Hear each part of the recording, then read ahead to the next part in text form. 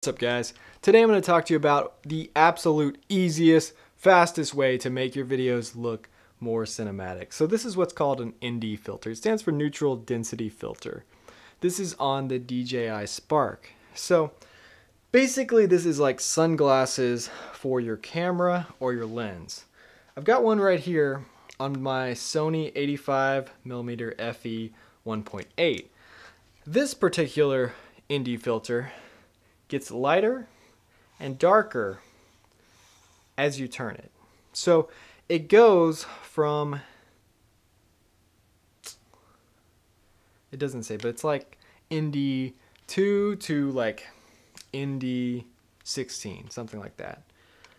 This particular one is just one density. This is an ND 8.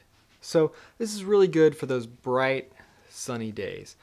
Today I was actually filming something outside and the wood was shining so bright off this plywood that if I exposed the plywood correctly and it wasn't completely white, then everything else was completely black. That's how sunny it was.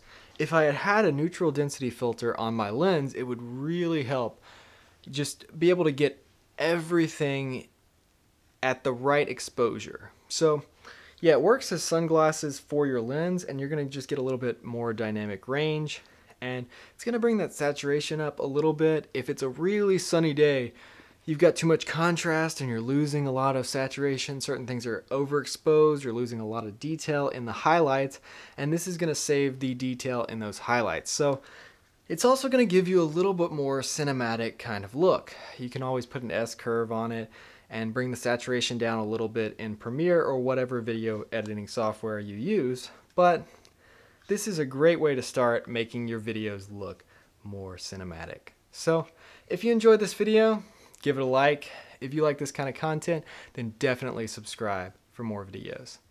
Thanks for watching.